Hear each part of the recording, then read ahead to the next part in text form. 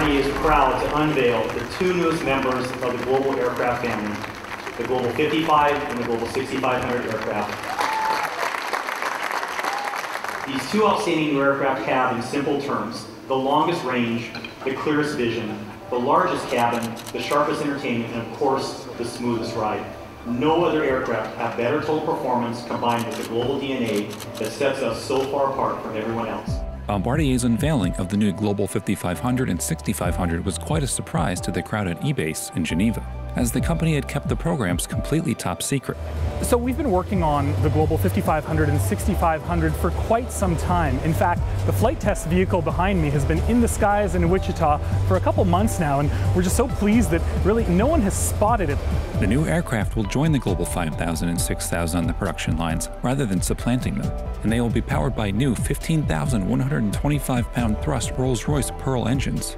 Beyond the engines, the aircraft will incorporate a host of new features, including improved aerodynamics, interior appointments, and avionics updates the time came for us to really look at where the market was going, what people were looking for in large cabin aircraft, and certainly what people were looking for in a Bombardier Global aircraft after having seen so much of the magic that we've put into the cabin of the 7000. So it wasn't enough for us just to redesign the entire cabin of the 5500 and 6500 to bring a lot of the interior elements like the kitchen appliances, the nuage seat, the nuage uh, chaise now that we've introduced, and the full galley and, and lab, we really took a look at what's the best engine for this program. And we really put it on Rolls-Royce to develop an engine that fits in the current nacelle package so you get all the benefits of the aerodynamics from the Global 5000 and 6000, but really delivers all of the next generation technology that one would expect from a new engine. So that's both in terms of environmental footprint and operating costs.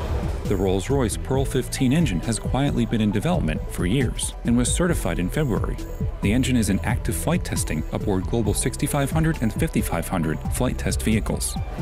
The combination of the reprofiled wing and the new engine certainly puts both aircraft at the top of their respective classes in terms of performance and range. So certainly in hot and high conditions in airports with challenging airfields, you'll get that much more range because of the increased thrust on the Pearl engines, but also the fact that the engines burn less fuel. So it's, it's really a double factor that provides up to even 1,300 nautical miles more range out of hot and high conditions airports and the smooth ride that Bombardier Global aircraft are renowned for. So the aerodynamic reprofiling of the wing let us go to Mach 9.0 without compromising the flexibility that provides one of the smoothest rides in the industry.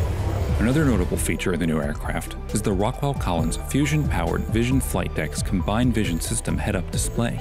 The new Global 6500 and 5500 are the business aviation launch application of the Rockwell Collins Combined Vision System, which merges infrared enhanced vision and synthetic vision system imagery into a single conformal view.